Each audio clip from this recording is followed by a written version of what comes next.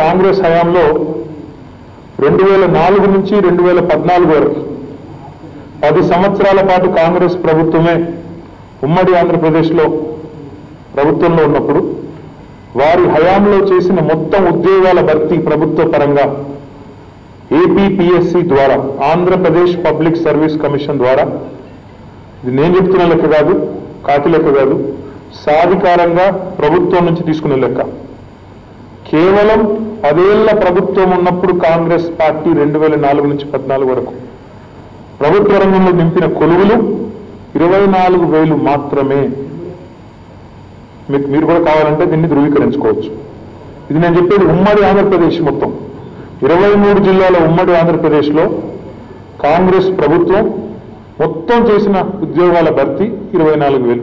Telangana share అందులో forty two percent అనుకుంటే తెలంగాణకి ఇచ్చింది కేవలం పదివేలు కాదు. అంటే పదేళ్ళలో ఏడాదికి యావరేజ్గా వాళ్ళు ఇచ్చింది వెయ్యి ఉద్యోగాలు మాత్రమే. అదే తెలంగాణ ప్రభుత్వం గడిచిన ఆరున్నర సంవత్సరాలుగా ఒకటి రెండు కాదు ఇది కూడా నేను సాధికారంగా చెప్తా ఉన్నాను అధికారిక లెక్కలు చెప్తా ఉన్నాను. ఈ అధికారిక లెక్క తప్పు అని ఏమైనా రుజువు చేస్తే నేను వారితో చర్చ కూడా సిద్ధంగా ఉన్నానని చెప్పి కూడా ఈ సందర్భంగా విజ్ఞప్తి చేస్తా ఉన్నాను.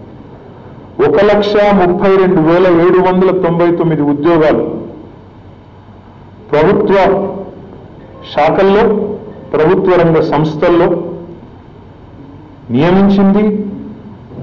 అదే రకంగా రెగ్యులరైజ్ చేసింది టీఆర్ఎస్ ప్రభుత్వం. మళ్ళొకసారి చెప్తా ఉన్నా ఒక లక్ష ముప్పై రెండు వేల ఏడు వందల తొంభై తొమ్మిది ఉద్యోగాలు మొత్తం వివరాలు కూడా మీకు ఇస్తాను నేను.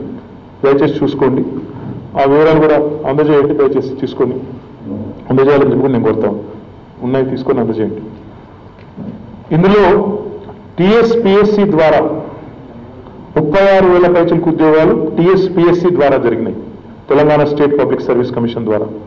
ఇంకా ఒక నాలుగు వేల ఉద్యోగాలు టీఎస్పీఎస్సికి ప్రభుత్వం అప్పజెప్పినప్పటికీ కోర్టు కేసుల వల్ల నాలుగు వేల ఉద్యోగాలు ఆ కోర్టు వివాదాలు చిక్కుకొని ఉన్నాయి.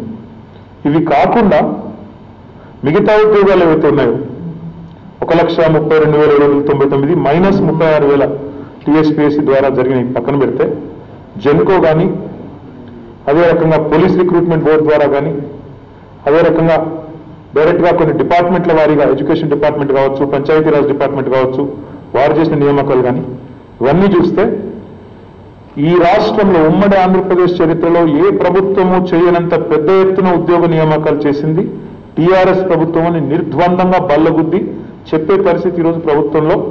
బాధ్యులుగా బాధ్యత గల మంత్రులుగా మా అందరికీ ఉందని చెప్పి కూడా ఈ సందర్భంగా నేను విజ్ఞప్తి చేస్తా ఉన్నాను. ఇది మాత్రమే కాదు. ఎన్నో రకాల చిరు ఉద్యోగులకు జీతాలు పెంచి వారిని ఆదుకున్నది టీఆర్ఎస్ ప్రభుత్వం. హోంగార్డులు కావచ్చు ఆశా వర్కర్లు కావచ్చు అంగన్వాడీ టీచర్లు కావచ్చు జిహెచ్ఎంసీలో పనిచేసే శానిటేషన్ సిబ్బంది కావచ్చు ఇతర మున్సిపాలిటీల్లో పనిచేసే శానిటేషన్ సిబ్బంది కావచ్చు ఇట్లా కాంట్రాక్ట్ లెక్చరర్స్ కావచ్చు ఒకరిద్దరు కాదు. వేలాది మందికి చీకట్లో చిరుదీపంలాగా ఆనాడు ఉమ్మడి ఆంధ్రప్రదేశ్లో వీరి కాంగ్రెస్ ప్రభుత్వం న్యాయం చేయకపోతే వారందరికీ జీతాలు పెంచి శ్రమదోపిడి తగ్గించింది టీఆర్ఎస్ ప్రభుత్వం అని నిర్ద్వందంగా నేను చెప్పగలుగుతాను. ఇది కూడా నేను సాధికారంగా లెక్కల సహితంగా మీ ముందు పెడతానని చెప్పి కూడా మీకు విజ్ఞప్తి చేస్తా ఉన్నాం ఏం? పిల్లికి బిచ్చం వేసినట్టు ఎంగిలి మెతుకులు వేసినట్టు మీ జేబులకి జేబులలోకి సొమ్మిచ్చినట్టుగా గొప్పలు చెప్పుకుంటున్నవే లక్ష యాభై వేల ఉద్యోగాలకు పర్మిషన్ ఇచ్చిన అని చెప్పని. అసలు ఖాళీలు ఎన్నివే మా లెక్క ప్రకారంగా మూడు లక్షల పైచిలుకున్నాయని మేము చెప్తున్నాం. మీ మీ మీ మీ మీ చెంచా కమిటీ పిఆర్సీ కోసం వేసినటువంటి ఒక మీ చెంచా కమిటీ ఏం చెప్తా ఉంది? మీ చెంచా కమిటీ ఏం చెప్తా ఉంది? ఒక లక్ష తొంభై ఒక్క వేల ఖాళీలు ఉన్నాయని చెప్పని మీ చెంచా కమిటీ చెప్పింది. బిస్వాల్ కమిటీ చెప్పింది. ఇదైతే ఒప్పుకుంటారు కదా కేటీఆర్ గారు మీరు?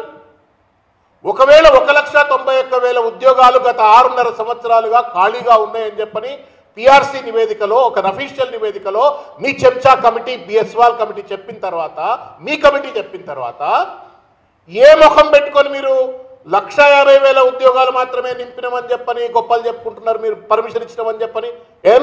తెలంగాణ ఉద్యోగ నిరుద్యోగులకు విద్యార్థులకు మీరు ఏమైనా ఎంగిలి మెతుకులు ఇస్తున్నారా మేమైనా బిచ్చగాళ్ళమా? తెలంగాణ విద్యార్థులు నిరుద్యోగులు? ఎందుకు లక్ష తొంభై ఒక్క వేల ఉద్యోగాలకు పర్మిషన్ ఇవ్వాలా? ఇక అది కూడా తెలంగాణ సమాజం మీ- మీడియా మిత్రులు దయచేసి బాగా హైలైట్ చేయాలని చెప్పి నేను కోరుతా ఉన్నా. ఎంత దొంగ లెక్కలు అడ్డమైన లెక్కలు అంటే చెప్తున్నది. లక్ష యాభై వేల మూడు వందల ఇరవై ఆరు ఉద్యోగాల కట వీళ్ళు పర్మిషన్లు ఇచ్చిండ్రట. లక్ష తొంభై ఒక్క వేలు ఉన్నాయని చెప్పని వాళ్ళ చెంచా కమిటీ చెప్తే లక్ష యాభై వేలకు మాత్రమే ఇచ్చిండ్రు మిగతా నలభై వేలకు ఎందుకు ఇవ్వలేదు అంటే సమాధానం లేదు. అది వేరు ముచ్చట. ఇక దాంట్లో కూడా వీళ్ళు కష్టపడి ఆరున్నర ఏళ్ళు కష్టపడి టీఎస్పిఎస్సి పెట్టి దాంట్లో పది మంది మెంబర్లను పెట్టి చైర్మన్లను పెట్టి వాళ్ళకు బుగ కార్లు ఇచ్చి వాళ్ళకి అన్ని రకాల జీతాలు ఇచ్చి లక్షల రూపాయలు కోట్ల రూపాయలు అన్ని ఖర్చు పెట్టిన తర్వాత ఈ దొరలు నింపిన ఏంటంటే దొరవార్లు నింపింది ఎంత అంటే గడిలో ఉన్న దొరలు లక్ష ముప్పై రెండు వేల ఎనిమిది వందల తొంభై తొమ్మిది ఉద్యోగాలు నింపిందట ఇందులో ఉన్న దొంగతనం చెప్తా దయచేసి మీడియా మిత్రులు అర్థం చేసుకోవాలని చెప్పి కోరుతున్నా. ఇక దాంట్లో ముప్పై నాలుగో అంశం. మీరు ఆ లిస్ట్ బహుశా మీడియా వాళ్ళ దగ్గరకు వస్తుంది సర్క్యులేషన్లో ఉంటుంది ప్రజలు కూడా చూడొచ్చు. Regularization of contract labour as artisans in Genco Transco NPDCL and SPDL ఎన్ని ఉద్యోగాలువా ఇరవై రెండు వేల ఆరు వందల ముప్పై ఏడు ఉద్యోగాలు. అంటే ఆల్రెడీ ఉద్యోగాలలో ఉంటూ కాంట్రాక్ట్ లేబర్గా పనిచేస్తున్నటువంటి వాళ్ళను రెగ్యులరైజ్ చేసి మేము ఉద్యోగాలు ఇచ్చినామని చెప్పని జబ్బలు దర్చుకోవడానికి సిగ్గన్నా లేదా కేటీఆర్ గారు మీకు? Nonsense is this why are you misleading people of Telangana మేము పిచ్చోళ్ళ మా చెవులలో పూలు ఉన్నాయి మాకు. అవలగాళ్ళకి కనబడుతున్నారు. తెలంగాణ సమాజం మీకు. ఏం మాట్లాడితే అది చలామణి అయిపోతే చూపెట్టే మీడియా ఉంది కాబట్టి మీకు సోషల్ మీడియా ఉంది కాబట్టి ఏది మాట్లాడితే అది నమ్ముతారు అనుకుంటున్నావా? కర్రు కాల్చి వాతలు పెడతారు వాళ్ళు ఎమ్మెల్సీ ఎన్నికలు దయచేసి గుర్తుపెట్టుకోండి. ఏం మోసం ఇది? ఏం చీటింగ్ ఇది? This is nothing less than white collar crime contract అసలు అసలు ఏం చెప్పిండు కేటీఆర్ కేసీఆర్ గారు తెలంగాణ ఉద్యమ కాలంలో? కాంట్రాక్ట్ వచ్చినాక ముఖ్యమంత్రి అయినాక కూడా చెప్పిండు. కాంట్రాక్ట్ అనే పదం తెలంగాణలో ఉండదు. ఏందా ఈ కాంట్రాక్టు? ఇక ముఖ్యమంత్రిని కూడా కాంట్రాక్ట్లో పెట్టుకుంటే సరిపోదా అని చెప్పిండు. సిగ్గు ఎగ్గు లేదు ఆరున్నరేళ్ళు పడుతుంది. ఒక ఆర్టిజన్స్ను అది కూడా విద్యుత్ సంస్థలో పనిచేస్తున్న వాళ్ళు ఇరవై రెండు వేలను రెగ్యులరైజ్ చేయడానికి ఇన్నేళ్ళు పడుతుంది. దాని మీద గొప్ప చూపెట్టుకుంటూ అదేందో మళ్ళా మీరు కొత్త ఉద్యోగాలు కల్పించినట్టు ప్రజలను మభ్యపెట్టే ప్రయత్నం చేస్తారు. ఇవాళకి కూడా తెలంగాణలో నేను ఇంతకుముందు చెప్పిన లెక్కలో కాంట్రాక్ట్ ఉద్యోగుల ఖాళీలు చెప్పాలా. ఇన్ అడిషన్ టు తెలంగాణ రాష్ట్రం ఏర్పడిన నాడు ఉన్నటువంటి ఒక లక్ష ఏడు వేల ఖాళీలు రిటైర్మెంట్ వల్ల వచ్చిన ఖాళీలు కొత్త జిల్లాలు కొత్త రెవెన్యూ డివిజన్లు కొత్త గ్రామ పంచాయతీల వల్ల వచ్చిన ఖాళీలు తర్వాత ఆంధ్ర వాళ్ళని రిపాట్రియేట్ చేయవలసి వస్తే వచ్చినట్టు ఖాళీలు దాంతో పాటుగా కాంట్రాక్ట్ అండ్ అవుట్సోర్సింగ్లో లో ఉన్నటువంటి ఒక ఉద్యోగ ఖాళీలు తీస్తే లక్షల ఉద్యోగాలు ఇవాళ తెలంగాణ ఖాళీలు ఉన్నాయి. ఎందుకు నింపరాయా? మీ ఇంట్లో ఉద్యోగాలు లేకపోతే ఆగమాగం అయిపోతారు. కడుపులో నొప్పి వస్తుంది మీకు. మీకు ఉద్యోగం వచ్చేంత వరకు మాత్రం నిద్రపోరు మీరు. మరి తెలంగాణ సమాజానికి ఉద్యోగం రావద్దా? తెలంగాణ నిరుద్యోగులకు ఉద్యోగం రావద్దా? విద్యార్థులకు ఉద్యోగం రావద్దా? ఆఖరిగా కొట్లాడరు కదా పిల్లలు పాపము రోడ్ల మీదకి వచ్చి మా ప్రాణం పోయినా పర్వాలేదని చెప్పని నీళ్ళు నియామకాల కోసం కొట్లాడిండ్రు కదా తెలంగాణ వస్తే మా మాకు ఉద్యోగాలు వస్తే అని ఆశపడ్డారు కదా ఏడేళ్ళు గడ్డి బీక్తానరా మీరు? ఎవడి హితం కోసం పనిచేస్తూ ఉన్నారు మీరు ఇవాళ? ఎవడి కోసం మీరు ప్రభుత్వం చలామణి చేస్తూ ఉన్నారు ఇవాళ మీరు?